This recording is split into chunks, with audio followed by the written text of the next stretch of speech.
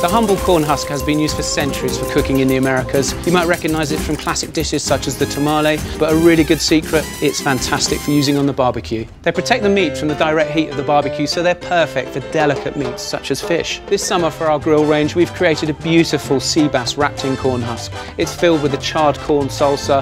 The corn husk cooks the fish perfectly and evenly every time, and as it's cooking, it's developing a lovely corn smoky aroma that imparts more flavour into the fish. So it looks and smells amazing. It makes the art of barbecuing practically foolproof. And when you bring this out at your summer barbecue, it's going to be a real showstopper.